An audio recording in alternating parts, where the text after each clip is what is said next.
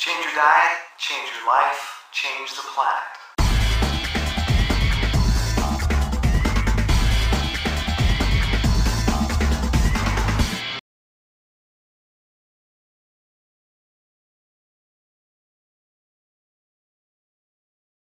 gym was closed, so I'm home and I'm doing Tabata on my rowing machine tonight. And this rowing machine, you can find them for free. People give them away because nobody wants them. Uh, you can look on Craigslist. I've seen them for 20 $25. A really inexpensive machine. And you basically, you're lifting your body weight, plus you're going against a hydraulic um, shock. So you're pulling it, oh, that's hot.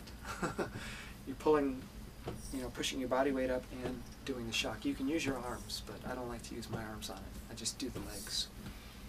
And uh, what I'm doing to make it Tabata worthy, I've already done this leg, and it was brutal. It hurt just as much as the leg press, if not more, because I'm doing more reps. Um, now I got to do this leg. So I'm going to show you what that looks like, how to get a Tabata workout without a gym membership on a very inexpensive, if not free, piece of equipment.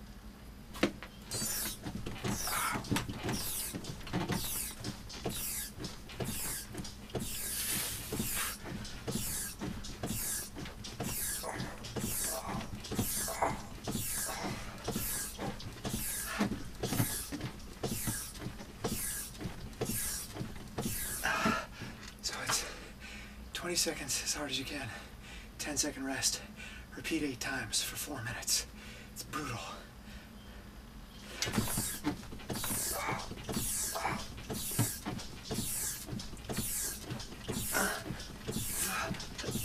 If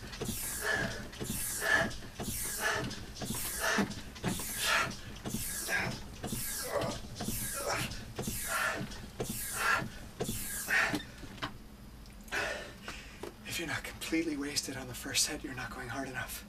Or the machine's not hard enough. It's got to waste you every single set.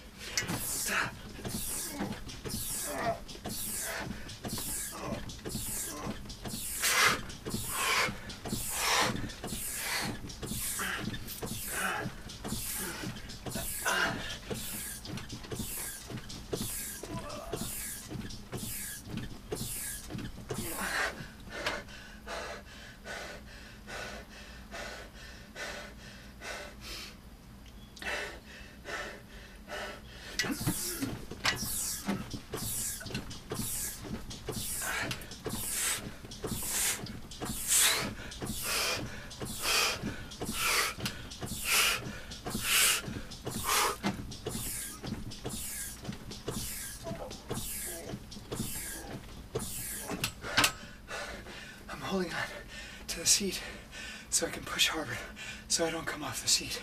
So you hold on to the seat and it keeps you grounded so you can push as hard as you want.